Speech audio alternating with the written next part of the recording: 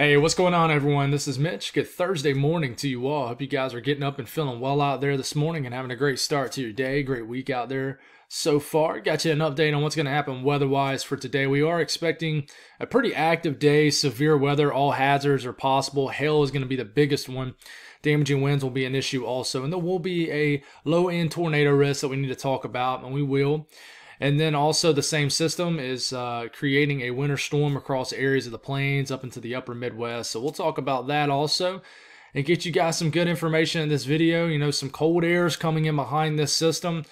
How cold is it going to be for everybody? We'll figure that out here really in the next day or so. But we also are still watching this weekend into next week. Um, but I can tell you the system for early next week is really I would say downtrended into not as a significant event, but it's the system is still there. It is just being suppressed, and we'll we'll show that briefly at the end of the video. Kind of what I'm talking about as what what being suppressed means. It's basically getting pushed southward. But um, with that being said, I just want to thank y'all for the growth here in the first half of March. Uh, things typically slow down as we get into March and really April as severe weather becomes the bigger topic and really the only topic besides any kind of late season kind of uh, winter mischief out there. But if that's not happened, severe weather is the big topic. If severe weather's not happened, there's not really a whole lot to talk on. And then summer, it really slows down. So, you know, the jury's still out. Uh, how summer will do. Uh, you know, summer is always the even though things slow down, summer is always the biggest tester on my YouTube channel to really see how the growth really went uh, over the active times because you know I got over summer last summer and you know we got down to about a thousand fifteen hundred views per video. And it got to the point where there was just nothing to talk about for a couple weeks and uh, i just kind of started doing one video a day. So I just, you know, with all that being said, thank y'all for people who just tune in. I always want to show my appreciation. I'm huge on that. I'm, I, I was I was raised on that, and uh, I wish people would do it more, especially people who hold leadership positions. Show appreciation more. Um, but uh, just thank y'all for people who you know who make this a part of their morning and evening routine. Uh, means the world, and it really gives me the fuel to really keep pumping out this content. So thank y'all for that. If you guys got anything that I can pray about or pray over, as always uh, please put it in the comments below. It gives me an opportunity to pray over it, and it gives others an opportunity to do so too. And hit that subscribe button if you if you haven't, and uh, like the video if you like it. It goes a long way. Thank you all for the support. Let's get rolling here. Water vapor loop, our upper trough is setting up. We got, you know, piece of energy impulsing off the base of this upper trough, and this is helping to bring a lot of low level moisture into this area.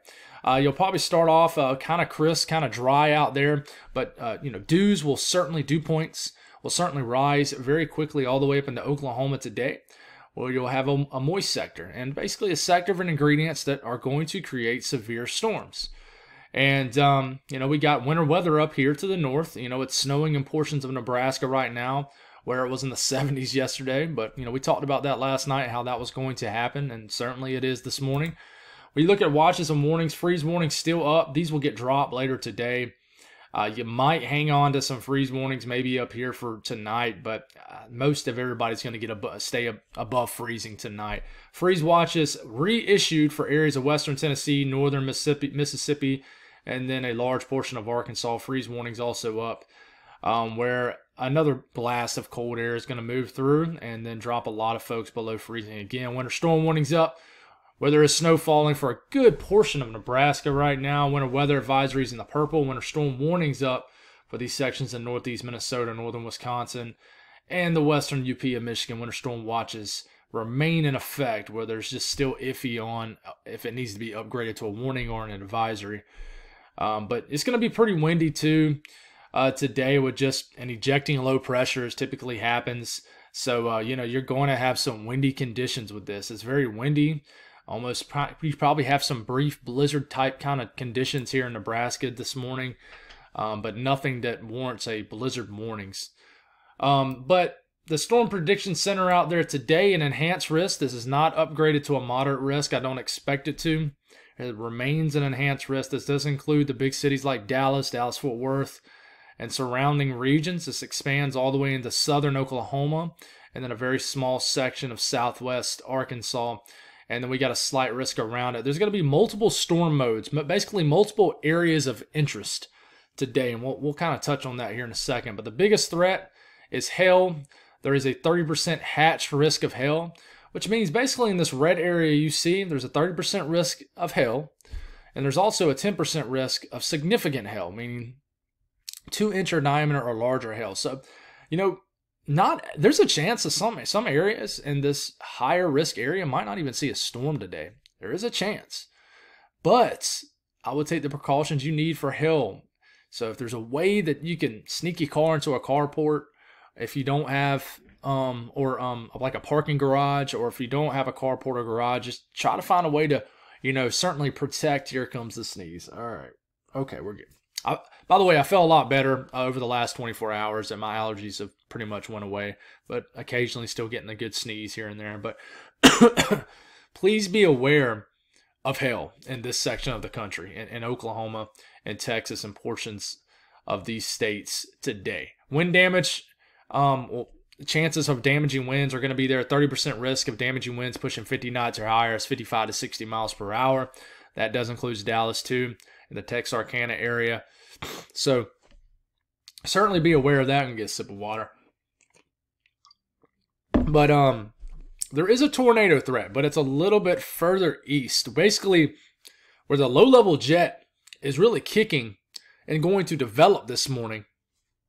Um, it's going to be displaced from the thermodynamics. We talked about that last night a little bit, but there's going to be kind of a displacement, if you will, from basically the best fuel to really explode these thunderstorms, and then uh, the ingredients you need to really spin these updrafts.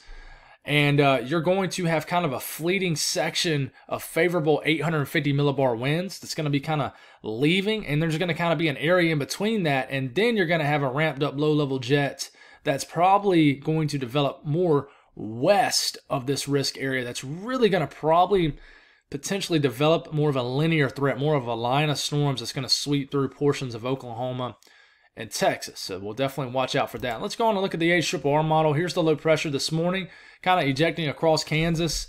And as it does, one thing to, I'll tell you right off the dot, storms will fire up here, probably up here to Oklahoma City and even up to Tulsa potentially, based off the latest HRRR model. Immediately behind this, you go about three, four hours to the west, you got cold air filtering in very quickly, and you might have a band of snow making its way through Kansas uh, later this early, well, really early this afternoon today.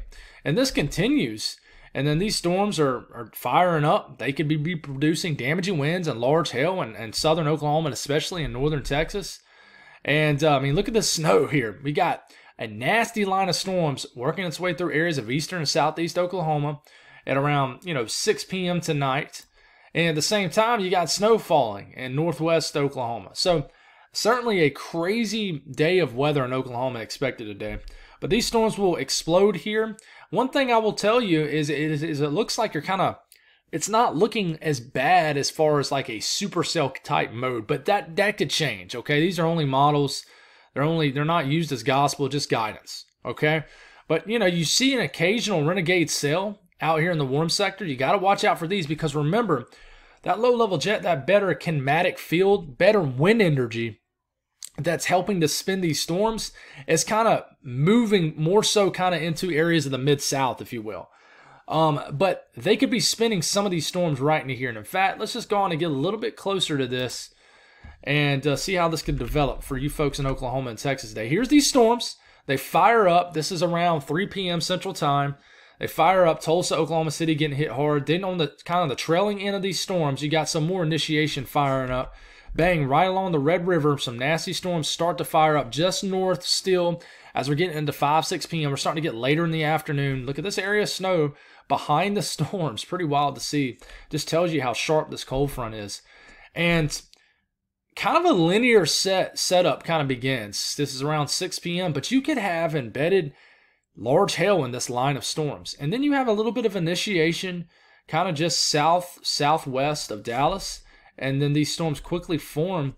And you know, it listen, I'm going to go on and throw the disclaimer out there now. There is a chance that somehow Dallas, Dallas Fort Worth doesn't get any storms today. there is an outside chance that if something like the HRRR model happens, you could get this energy up here that trails off and doesn't form any storms down here to the south. and then you can have an initiation of storms to the south of Dallas, and somehow you guys get right in between that and don't really get bad weather. There's a possibility. But these wind these storms continue to push. Large hail possibility in all these. But what I want you to look at is these storms right in here have that 5% risk to produce a tornado. So please be careful in the Texarkana area. I would especially say, you know, th- there's enough ingredients there to put a spin to some of these storms. Very low end tornado threat, but it's there today. So please watch out this area right into here. We go a and then well, let's keep going. We keep going, you know, this begins to enter the southeast frame of this and these storms start to blow through Little Rock probably in the middle of the night and then knock on the door of Shreveport probably, you know, 12, 1 a.m., 2 a.m. in the morning. Um, there is the chance for some nasty storms deeper into Texas where you have basically better ingredients for, more fuel in the atmosphere. We call that CAPE. Um, so we need to watch out for that because if any storms fire up in central Texas, they will have the, the potential to really produce some significant hail. So watch out for these storms kind of south and southwest of Dallas that might move south of the city. These could be big hail producers right down here. They really could. You got a lot more fuel the further south you go, a lot more what we call thermodynamics. Okay. But uh, these continue to move through, and these are probably going to turn into a line of storms. We're getting into the wee hours of morning. They might kind of blow through along the cold front through Houston as we're getting into the wee hours of morning, maybe around 6, 7 a.m. And then the active southern jet continues, and I think that we just have a period of pretty active weather potentially for southwest Texas. And we'll get you we're going to be able to move fully past the severe weather threat to, tonight. So we'll begin to give you guys some real and good updates on what's going on deep in Texas, Southwest Texas tonight. Um, the winter storm, what's going on right now? Well, in Nebraska, you got a huge shield of snow. North Platte seeing snow now, where it was a mixture of sleet and snow. You're starting to switch mainly to snow. This area of snow will continue to drift and just this area of precipitation and move like this. Obviously, that's a terrible arrow. Obviously, you see Minneapolis um, on the radar here. This will move eventually all the way into the UP and Michigan and, and really affect also areas up here too where you have winter storm warnings. So here it comes. It, you know, it's snowing outside of Denver this morning. This isn't going to be a huge winter storm. It's really going to be quick hitting, but you know, it's going to drop, drop accumulating snow, so it's worth talking about. But this will continue to move through Nebraska and areas of even far eastern South Dakota. It'll start out as rain for most of western Iowa, but quickly switch to some a period of accumulating snow sometime around midday or late morning, midday, into the early afternoon today. And then rain will switch to I would say, to to snow in Minneapolis. I would say around two, three, four o'clock this afternoon. Uh, this is all rain for a large portion of Wisconsin. I think you could get a period of some moderate snow sometime tonight in like areas like Des Moines. Uh, probably around dinner time tonight, you know, some snow could fall even in northern sections of Missouri. And maybe even, you know, some flurries flying around as far south as uh, Kansas City sometime late this evening. This continues to kind of move through very heavy snow well, I wouldn't say very heavy, but some moderate to heavy snow falling in northeast Minnesota, northern Wisconsin. Rain switches to snow for the western UP and Michigan. But I can tell you for a lot of central and eastern areas of the UP and Michigan, and certainly all of Michigan down here, this is going to be all rain for a large portion of the storm until this low pressure moves on through cold air filters and behind it. And then as we're waking up tomorrow morning, that's when we have the lake effect enhancement that really cranks up um, and really starts to add additional snowfall for the Great Lakes regions.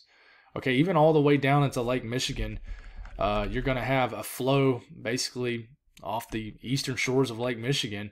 And uh, even you know places down there near Lansing, Grand Rapids are going to see some snow flying around uh, Friday. And these could be some intense bands coming off of uh, the southern the southern areas of Lake Superior. These could really drop some significant snowfall accumulations for the southern shores of Lake Superior. So, um, snowfall between now and the next 24 hours. A stripe of accumulating snow will, you know, really crank you up in northeast Nebraska all the way up through Minnesota, portions of Iowa, and south and southeast South Dakota. So I really think Minneapolis could get maybe two to as much as four inches of snow today. We go up into the upper Midwest. And, um, you know, just between now and the next 24 hours, Okay, you know, they're going for a good bit of snow up here in the uh, you know western UP of Michigan. Um, the H triple R model does not reflect this much snow in the next 24 hours, but you know it's it's not all about the H triple R model. It's about other model guidance too, and already going for you know five to eight inches of snow anywhere from northeast Minnesota all the way through northern Wisconsin, all the way into the western half of the UP of Michigan.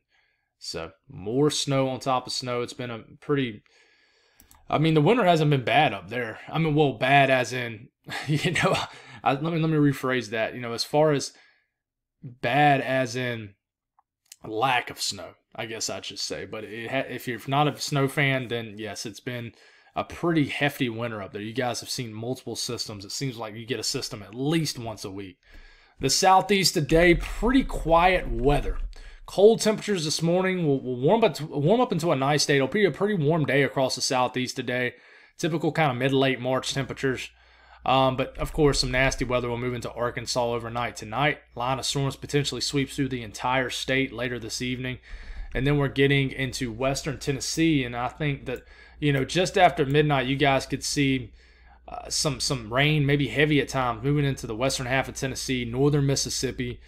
Um, and then this eventually this line could potentially maintain overnight, and you're dealing with a little bit of a line of storms working its way through Huntsville, kind of you know around six seven a.m. knock on the door of uh, Birmingham, maybe you know maybe about mid morning Jackson, blowing through that area, kind of right around when the sun's coming up, and um, you know this sets the stage for a rainy day across the southeast tomorrow, and potential the potential for some severe storms uh, down here and the southern areas of the Gulf states, deep south, places like that. And you know, this is getting well into tomorrow at this point. But the Northeast, um, you know, maybe a, a some uh, some some light precipitation could swing through northern New York State, Vermont, maybe in the form of snow, maybe in the form of rain. It just depends on how high you are, you are up. Man, I saw some crazy snowfall total. It was somewhere in the Hudson Valley, and I I can't make out the name of the city right now at the top of my head, but the name of the the town got a tenth of an inch of snow. But where the town, I think it starts with an S, but where the town sits is it's like right at the foot of a huge elevation increase that goes up to like two three thousand feet up in the air.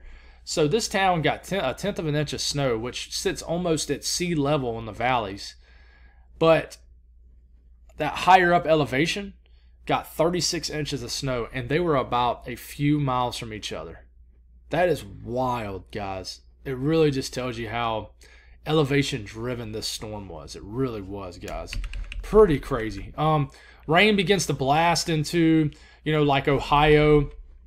Um, and it's one place that, uh, areas I have not been really talking about much, but rain will move into the Ohio Valley, the Midwest, Great Lakes region and eventually try to make its way into the mid Atlantic. And this will be all rain for New York State. So tonight, you know, in western areas, the southern tier of New York State, western half of Pennsylvania, some rain will move in into the wee hours of the morning. And this will also set the stage for kind of a, a wet day for a lot of the Northeast and the mid Atlantic. Um, not a washout, but this certainly will be all rain for most of everybody as we're making our way uh, through our Friday but um, we're getting a little ahead of ourselves. But this will be all snow in Maine for a large portion of the northern half of Maine. Temperatures today, it'll be a moving air mass, which means we have a sharp cold front digging into the southern plains. So, you know, you might rise all the way into about 70 degrees through about early afternoon in Oklahoma City, Tulsa, and then temperatures will dramatically drop by late afternoon.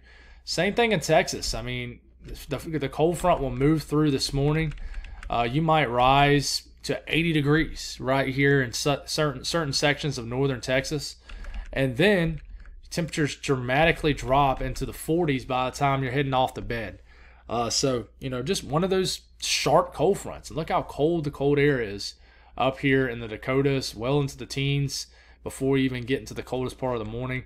But today it'll be a beautiful day. 60s all the way up into southern PA, 70s down into the southeast, 60s and 70s 60s all the way up into portions of the Ohio Valley, even maybe all the way up into Michigan. So uh, you got some big time warning, but this cold front will kind of sweep through and uh, really work its way eventually all the way to the southeast this weekend and, and create kind of a chilly weekend for everybody. But We're still watching um, this area in Texas. It's um, a tough one to figure out, but we'll start to dive into this a little bit more for this weekend. But some snow is possible deep down in Texas. it, it is, especially southwest Texas. Um, I really think we'll have a, a kind of a, a, wet start to our weekend for the southeast. Um, but one thing I'm watching here is that with an active southern jet, cold air nearby, um, this could turn into just a wet weekend for the southeast. For example, it was looking like this rain was going to clear out in the southeast by the time we get into our Saturday morning. For most of the southeast, um, the rain clears out and you have a decent day clearing. But what I'm watching here is kind of another area of precipitation that might start to overrun portions of Georgia and the Carolinas. If we back it up about six runs, um, it really wasn't showing this. And we'll go all the way to the newest run for you know Saturday night. Bang, bang, bang, bang, bang, bang. Look, we're trending to more rain after the initial system for Friday. So uh, might not be the best weekend weather-wise in the southeast, but we'll see how it goes. That might change. We're still watching that system uh, early to midway next week. Still shows a little bit of snow for the mountains, but that's only for one run of the GFS. The Canadian, the European have this suppressed into oblivion, meaning it doesn't really have a storm anymore. It has the energy there, but it's suppressing it to the point where it's not even putting any moisture into the southeast. But we still watch this, but I can tell you for now, a solid 24 to 36 hour trend of this thing being suppressed has uh, certainly been underway. That's all I got, guys. Thank y'all for tuning in. God bless, and have yourselves a great and safe day out there.